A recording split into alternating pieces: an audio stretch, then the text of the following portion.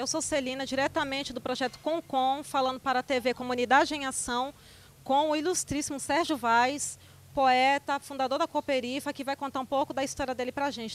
Quem é o Sérgio Vaz? Pois é, é uma pergunta que me faço há muito tempo também.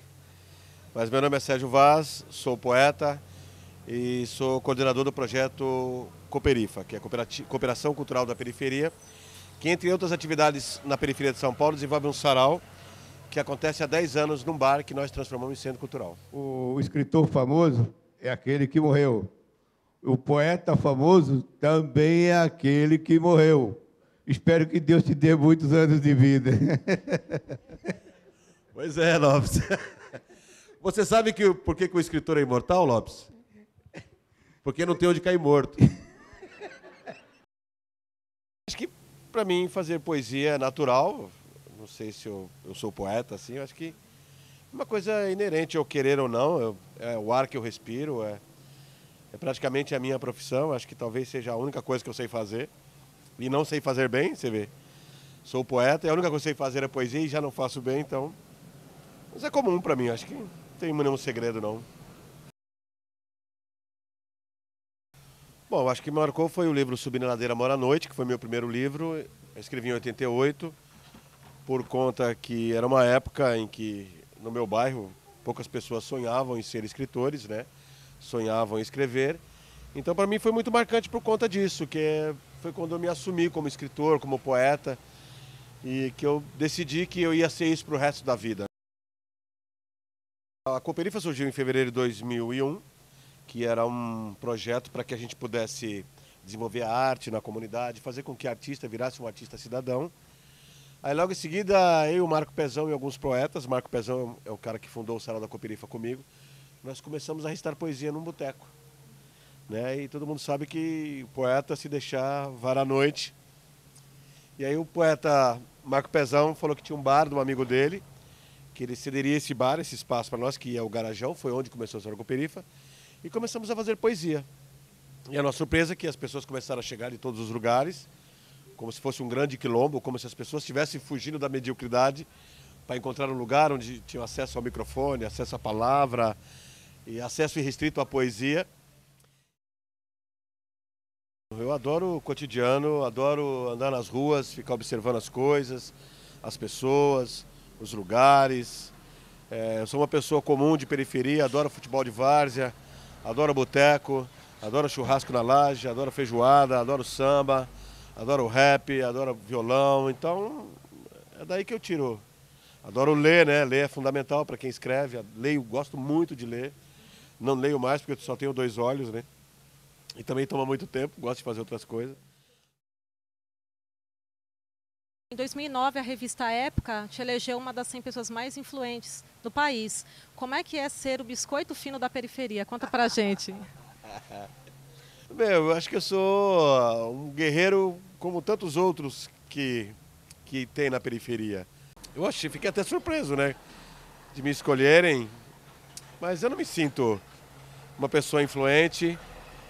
Eu não posso negar que eu tenho influência no meu bairro, junto com outras pessoas. Mas eu não me elegeria um dos 100 mais influentes do país. Assim, não, não mudou nada na minha vida. Eu moro no mesmo lugar, no mesmo bairro ando nos mesmos lugares com as mesmas pessoas. Quem gosta de poesia? Não, ninguém gosta aqui não, mano. Nós não não curte esse bagulho não, esse bagulho de poesia. Aí eu não sei não, tio. Né? Aí eu falei, pô, eu conheço uma poesia, vê se vocês conhecem essa poesia aqui. Aí eu fiz uma poesia que é assim, ó. Daria um filme, uma negra e uma criança nos braços, solitária na floresta de concreto e aço. Olha outra vez o rosto da multidão. A multidão é o monstro, eu sei, rosto e coração em São Paulo, Terra de Arranha-Céu, a Garoa, Rasga-Carne, a Torre de Babel, família brasileira, dois contra o mundo, mãe solteira de um produto. Sou vagabundo, luta, sou gravando, a cena vai o bastardo, mas o filho pardo, sem pai. Quando eu vi, tava todo mundo cantando. Aí eu falei assim, isso é poesia. Ah, então nós gosta, mano, se é racionais, nós gosta. Muitos artistas de hip hop se baseiam na tua arte para poder transformar deles. O que, que você acha disso? Eu acho que é uma troca também, porque a minha poesia, ela também, ela, ela, ela bebeu nessa fonte do hip hop, porque é uma poesia forte, contundente, engajada, panfletária, né, assim, que fala das mesmas coisas que o rap, de uma outra forma, de uma outra linguagem. Que adianta uma boca grande e um coração pequeno. Nunca diga que faz se não faz. Ame teu ofício como uma religião. Respeite suas convicções e as pratique de verdade, mesmo quando ninguém estiver olhando. Milagres acontecem quando a gente vai à luta. Pratique esportes como arremesso de olhar, beijo na boca, poema no ouvido dos outros, andar de mãos dadas com a pessoa amada, respirar o espaço alheio, abraçar sonhos impossíveis, impossíveis e elogios à distância. E, em hipótese alguma, tente chegar primeiro. Chegar junto é melhor. Até porque o universo não distribui medalhas nem troféus. Respeite as crianças, todas, inclusive aquelas esquecidas na sua memória. Sem crianças não há razão nenhuma para se acreditar no mundo melhor. As crianças não são o futuro, elas são o presente.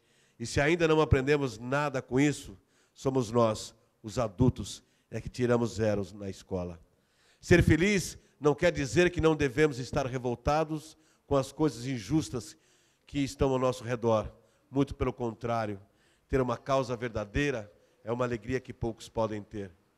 Por isso, sorrir enquanto luta é uma forma de confundir os inimigos, principalmente os que habitam nossos corações. E jamais se sujeite a ser carcereiro do sorriso alheio. Não deixe que outras pessoas digam que você deve ter ou usar. Ter coisas é tão importante como não tê-las, mas é você quem deve decidir. Ter cartão de crédito é bom, porém, ter crédito nele tem um preço. Se possível, aprecie as coisas simples da vida. Vai que no futuro a Deus pertences. Esteja sempre disposto ao aprendizado e não esqueça que quem já sabe tudo não aprendeu nada. As ruas são excelentes professoras de filosofia. Pratique andar sobre elas. Procure desvendar as máscaras do dia a dia, pois o segredo está no minúsculo. Assim como o belo espetáculo do crepúsculo, no pequeno gesto das formiguinhas, esconde a grandeza a ser seguida pela humanidade. Tenha amigos, se não tem, seja, eles virão. Felicidade não se ensina, é uma magia. E o segredo está na disciplina de uma vida sem truques e sem fogos de artifício. E não acreditem em poetas, são pessoas tristes que vendem alegria.